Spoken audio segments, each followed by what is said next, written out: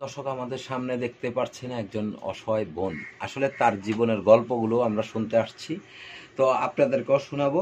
তো চলুন আমরা কথা না বাড়িয়ে এই বোনটির সাথে কথা বলি। আসসালামু আলাইকুম। ওয়ালাইকুম সালাম আসসালামু আলাইকুম। ওয়ালাইকুম আসসালাম কেমন আছেন? জি ভালো। আপনার নাম? আমার নাম তানিয়া। তানিয়া। তো তানিয়া আপনার দেশের বাড়ি কোথায়? নরসিংদী। কোন জায়গার ঠিকানাটা ঠিকভাবে বলুন? আমার জেলা নরসিংদী থানা মাধবদী গ্রাম বাঙ্গলপাড়া। আচ্ছা আপনার ভাই বোন কয়জন? আমার এক ভাই এক বোন। আপনার নাম যেন কি বললেন? তানিয়া। তানিয়া। তো আপনার মা বাবা আছে? মা বাবা বলতো অনেক কিছু মানে আমি ছোটবেলা হারাই গেছি। আমার দেশ কই আমি নিজেই জানি না কিন্তু এক বেটি আমার পাইয়া এই নরসিংদীর তারপর আমার এই ছোটকালে তনি পালছে। মানে তার মানে ছোটবেলা মা বাবা হারায় ফেলেছেন না এনারা পালক এনেছে কোনটা? হ্যাঁ পারল কেমন যারা বর্তমানে ছিল আমারে বিয়া দিছে আমারে বড় করছে হেরা আমার মানে এরা। পালছে আপনাকে। আপনার কি ছোটবেলা কি আপনার মা বাবা ওনাদেরকে দিয়ে দিয়েছে নাকি? না তাহলে কি? রাস্তায় আমি কানছি তারা পাইয়া আনছি। পায়ে আনছে।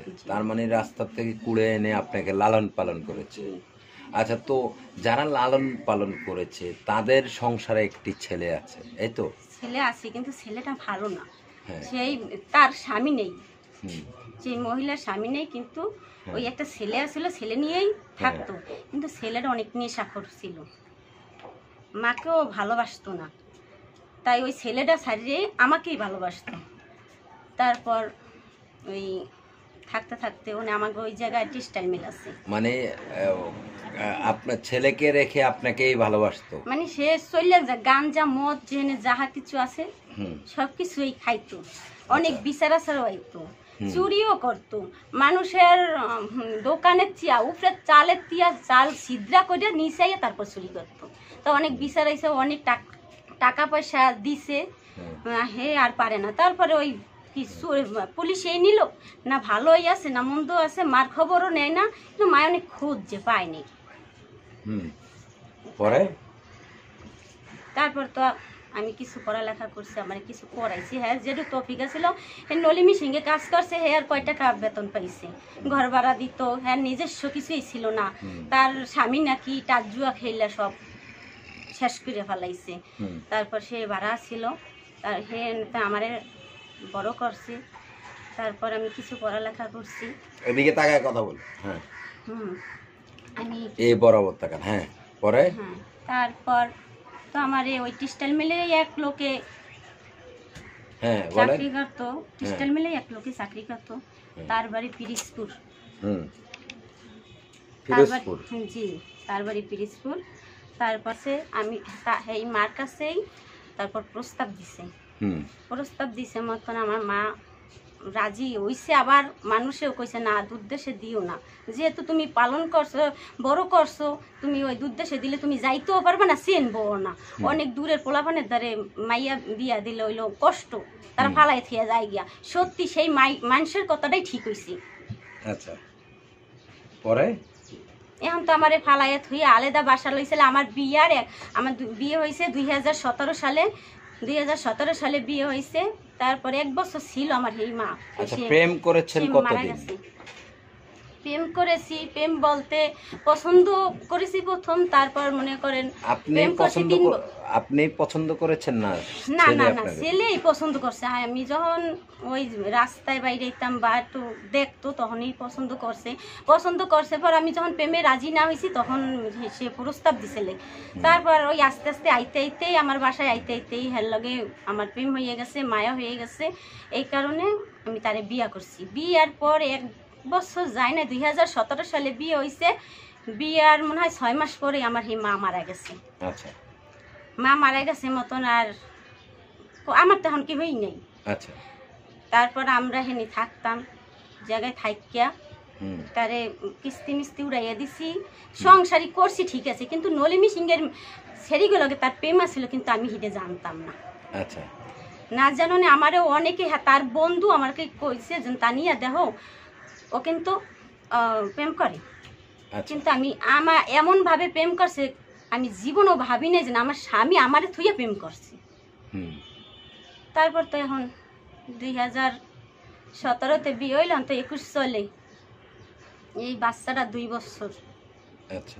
বাচ্চাটা দুই বছর গেছে প্রায় এগারো মাস হবে। এগারো মাস মানে আপনার স্বামী আপনাকে রেখে গেছে এগারো মাস হয়েছে। জি। আচ্ছা তো রেখে যাওয়ার পরে কি তার কোনো খোঁজ খবর পান না না না কোনো খোঁজ খবর পাইনি। পাওয়ার মধ্যে এটুই পাইছি যে নুর ইসলামের মেলের এক নলিমি সিং চালায় হ্যাঁ। তার লগে গেছে। আচ্ছা তার- সাথে চলে গেছে। জি। আচ্ছা তো এই যে সন্তান নিয়ে এখন কীভাবে চলেন? সন্তান এখন কি করব ভাই? দেখেন তো আমার বাচ্চাটা ছোট। বাচ্চাটা ছোট না হইলে অনেক কাজেই আছে করিয়ে খাওয়া যায়। কিন্তু এখন পারি না কোনো ধারাই করতে বাচ্চারা নিয়া। এখন একটু আমি কষ্টেই আছি। আমি সাহায্যের জন্যই আমি এই আপনাকে ক্যামেরার সামনে আইছি। যদি আপনারা হেল্প করেন তাহলে আমি অনেক খুশি হম। এখন দেখা গেছে নলি মিশিং আগে অনেক মিশিং চলছে কিন্তু করোনার কারণে এখন অনেক মিশিং বন্ধ হয়ে গেছে। আচ্ছা। এই কারণে এখন অনেক জায়গায় মনে করেন আগে সপ্তাহে চারশো পাঁচশো পাইতাম এখন সপ্তাহে গেলে মনে করেন ওই নাইট ডিউটি করলেও টাকা পাওয়া যায় না। কারেন্ট থাকে না অমুক সামুক বক্কর চক্কর এই এলে সংসারই করা যায় না। দেখা গেছে আমার স্বামী আমার থুইয়া সমুদ্রের কিস্তি মিস্তি উড়াইয়া থুইয়া অনেক টাকা ঋণ করিয়া গেছে। আচ্ছা। তাই আমি কীভাবে কি করব? এখন আমার মাথায় কিছু কাজ করে না। আচ্ছা। তো এই যে স্বামী রেখে চলে গেছে এখন মানে আপনি কি কাজ করেন? আমি এখন বর্তমানে নলি সিংই চালাই চালাইলো। আগে যেরকম নলি সিং পুরা হোল চলছে মাদক দিয়ে। কিন্তু এরকম চলে না। মনে করেন বিশটার ভিতরে চলে মনে করেন পাঁচটা। তাই কয় জায়গায় চাকরি পাওয়া যায় না। ওই নলি সিংয়েই আমরা তো পুরানো লোক এইখানে আমাকে রাখছে বুঝছেন? রাখল ওই সপ্তাহে পাঁচশো চারশোতে আমাকে হয় না। বাচ্চা লই আমাকে হয় না। কারণ মাসে দেখা গেছে আমাকে ঘর ভাড়া আছে কারেন্ট বিল আলাদা। ঠিক আছে? আমাকে এটা হয় না ভাই। আমরা আমি আর আমার বাচ্চায় খাইতে আমাকে একটু ধুম হয়। এই কারণে আপনি ক্যামেরার সামনে আমি আসছি। আচ্ছা তো এই যে আপনি মানে এখন যে কাজটা করেন আপনার যেই মা আপনাকে লালন পালন করেছে আপনি তো এখনও তাদের বাড়িতেই আছেন। না বাড়ি হ্যাঁ তো বাড়িই নাই। মানে হে ভাড়া থাকতো। হ্যাঁ যে জমা জমি ছিল তার স্বামী আগে আমি তো দেখি নাই তার স্বামী ওই টাজুয়া খেললেন নেশাপান করিয়া ওই জমি জমা সবই বিচ্ছেলাইছে। আর হেও ভাড়া থাকতো আমিও এখন ভাড়া থাকি। হুম আপনিও ভাড়া থাকেন। জি। আচ্ছা তার মানে কোনো কিছুই নাই না আপনার না না কিছুই নেই। আচ্ছা, তো এই যে মনে করেন স্বামী চলে গেল এখন বর্তমানে তো আপনার চলাফেরা খুবই কষ্ট। জি। তো আসলে এই যে কষ্টের মাঝে যে চলছেন তো ইউটিউব চ্যানেলে কেন আসছেন? আছি স্ব সাহায্যের ফানে দেখিনি আমার বাচ্চাটা নিয়া আমাকে নিয়ে কেউ স্ব সাহায্য করে নাকি এই কারণে আমি আইসি দেখি তো নতুন করে বিয়ে শাদী বসে যান না। বিয়া ভাই বিয়া কয় আর কি বিয়ে শাদী বসবেন বিয়া বসবো অবশ্যই বসবো। মনের মানুষ যদি মেলে মন মেলে মনের মানুষ মেলে না ভাই। মনের মানুষ তো মিলে বিয়ে বসলেন। তখন তো আবার চলে গেল। হ্যাঁ হ্যাঁ এই এই এই তো ভয় এই তো ভয়। এই কারণেই তো ভয় পাই যে একটা বাচ্চা এই করে হইল। এই টালি বালি টালি বালি এরম ওরম করিয়া প্রায় পাঁচ বছরের মতন কাটাইলাম। বাচ্চার বয়স হয়ে গেছে দুই বছর হয়ে গেছে কি এগারো মাস। এতে মনে করেন আবার যেন বিয়া বমো আমারে যে বলবে যে হ্যাঁ আমি তোমার মেয়ে লইয়া তোমারে নিয়ে আমি মানবো তার কাছেই আমি বিয়ে বলছি যদি আমার ডাইল ভাত খাওয়ায় তমো আমি তার আপনার এলাকায় কি কোনো ছেলে এইভাবে বলে নেই? কোনো ফ্যাক্টরির ছেলেরা আপনাকে বলে নেই? ভাই আমি আমার দেশের মানুষ চিনি। কি রকম কি ভালো কি মন্দ সব কিছু আমি চিনি ভাই। কারণ আমার পছন্দ হয় না মনের মতন মিলে নাই। এই কারণেই আপনাকে সামনে আমি এসেছি। আচ্ছা এখন কি মনের মতো মিলানের জন্য আসছেন না সাহায্যের জন্য আসছেন? না মিলানের ফানে আসছি যে মেলবে সে যেন আমার ছেলে এইভাবে তো অনেক মেয়েরা আমরা যত ভিডিও করি সব মেয়েরা প্রবাসীদের সাথে ছলনাবাজি করে। আপনিও তো ছলনাবাজি করতে পারেন। ভাই আমার মধ্যে কোনো ছলনা নাই। আমার মন দেখলে আপনারা তো নতুন আইছেন যদি দেখতেন যে না তানিয়া পাল্লাগ একটু চলি তাহলে মনের দুঃখটা আমি কইতাম। আমার মনের দুঃখ কার কাছে কোনো নাই পাপ নাই মা নাই কোনো আত্মীয় স্বজন আমি আসতাম না ভাই আমি অনেক কষ্টে করে আচ্ছা তো আপনার সাথে যোগাযোগের কোনো ব্যবস্থা আছে? জি আমি একটা মোবাইল চালাই। আচ্ছা তো ফোন নাম্বারটি বলুন।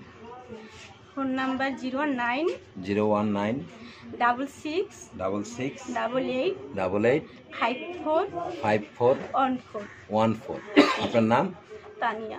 এই নাম্বার কি বিকাশ করা আছে? জি বিকাশী আচ্ছা তো এই যে আপনার মনে অনেক দুঃখ যেই মা বাবা থেকে হারিয়ে গেছেন তাদের কি কোনো ছবি টবি কোনো কিছু আছে? না না। কোনো কিছুই নেই? না। আচ্ছা তো দর্শক, আপনারা শুনলেন, আসলে মা বাবা হারিয়ে এই বোনটি খুবই কষ্টে আছে। বিয়ের জন্য না, শুধু তাকে একটু সাহায্য করবেন। আর যদি আপনারা কেউ বিয়ের ফাঁদে পড়েন, আপনাদের নিজ দায়িত্বে, আমরা এটার কোনো দায় দায়িত্ব নাই। আপনারা অনেকেই আমাদের কাছে কমপ্লেন করেন, মেয়েরা বিয়ে বসবে বলে টাকা পয়সা খেয়ে এরপরে আর ফোন ধরে না। আপনারা কাউকে বিয়ের কথা বলে টাকা পয়সা দিবেন না দয়া করে আপনারা যতটুকু তাদেরকে ভালো লাগে, এক টাকা, দুই টাকা করে সাহায্য করবেন, সাহায্যের হাত বাড়ি দিবেন, বিয়ের ফাঁদে পড়বেন না। তো সকলেই ভালো থাকবেন, সুস্থ থাকবেন, আল্লাহ হাফেজ।